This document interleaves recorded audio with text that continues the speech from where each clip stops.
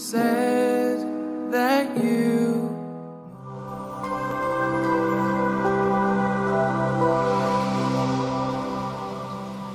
Hello everybody, this is Courtney and welcome to another speed build and today we have a very short one. We are doing today a tiny modern starter home in Newcrest and yeah I really like how this one turned out. Um, it's always fun when I get to do tiny builds that don't take very long. It took me 45 minutes, something like that. Um, but I really like how it turned out. It was really interesting. I did get uh, inspiration from a photo I found online um, that had this like backsplash um, underneath that porch area with the wooden panels, and so I thought it was really a neat idea and so that is what I ended up doing. Um, I hope you guys like it. If you are interested in this build, it is available on the gallery under my username CrazyCordy or the hashtag CrazyCordy. And as always, you can also find a direct link in the description of this video if it is easier for you to find it that way.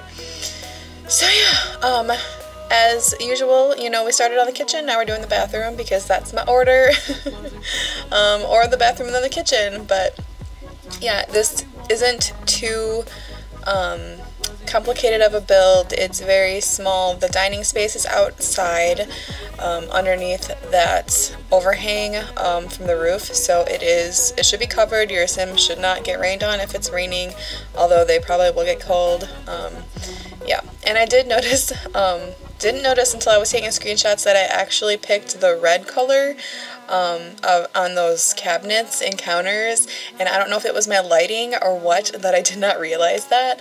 Um, so I do apologize in the gallery because I've already uploaded. It you'll have to change it if you don't like that because I ended up uh, making that whole back wall um, that the boards the I can't think of what it's called right now. the that backsplash, whatever. It's like an orangey brown color.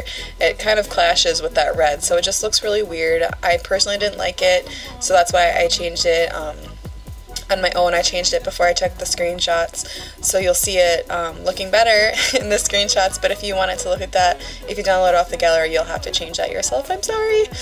Um, but yeah, so now we are in the bedroom, I did add these books that now work as a bookshelf. So you do have a bookshelf, even though it is just, you know, freestanding books on a shelf instead of a big bookshelf that takes up lots of space. So that was my idea here, just to kind of conserve space um, in this very small bedroom. Um, yeah, and um, like I've said in other videos, that red shelf there is just a piece of CC that I use to help place things more precisely on shelves and counters and things. It is not in the download, so don't worry about getting CC in your computer, but if you do want to download it to help you um, when you're building, uh, the uh, link to that shelf is down in the description if you are interested in downloading it.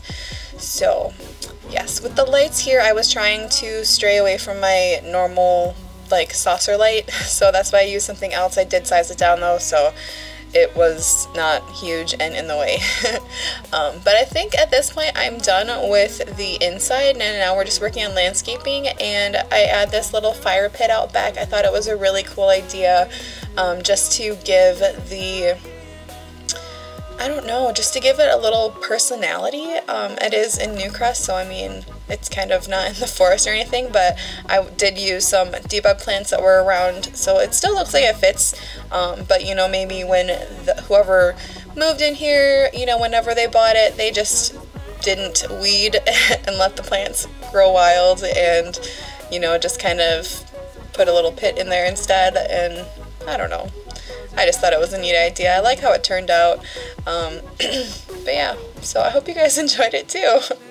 but yeah, it's a very, just a very small, um, very small build. It is a tier 2 tiny home, I believe. Um, for some reason, it, like, it would have been really close or just inside that tier 1, but because I had to do the roof the way I did it, it still counts those as tiles, so therefore we lost some space there. So it's space that's counted in the house, but we don't actually use it as living space, so that kind of sucked.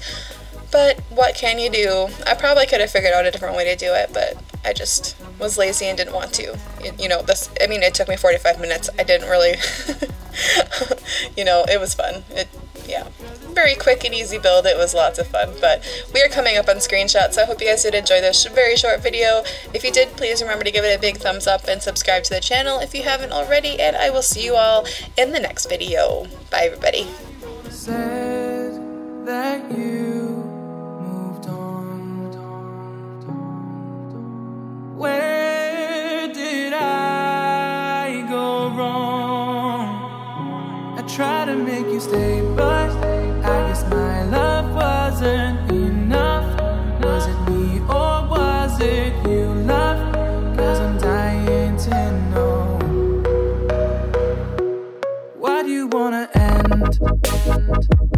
Was it real or just pretend?